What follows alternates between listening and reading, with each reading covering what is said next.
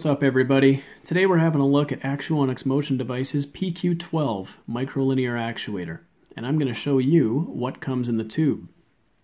This is how it arrives in this nice little clear tube here. We'll pull the end cap off and the first thing we're finding in there is a little hardware kit.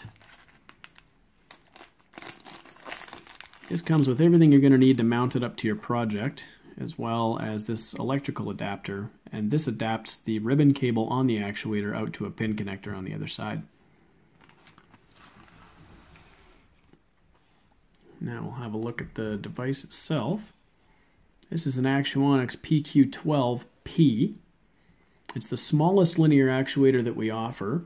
It's got 20 millimeters of total stroke and is available in 6 volt or 12 volt with gearing options of 30 to 1, 63 to 1, or 100 to 1. As you can see, it's incredibly compact. I'll show it to you in the palm of my hand here. It's a very, very small actuator. It actually fits comfortably within a Tic Tac box. And they're ideal for applications where you don't have a lot of space to work with or you want it to be minimally visible.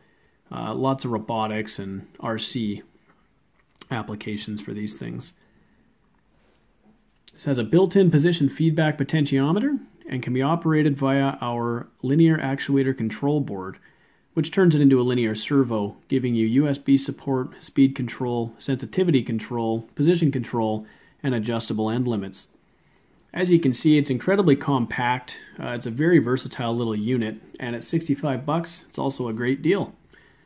This is the PQ12P by Actuonix. Thanks for watching.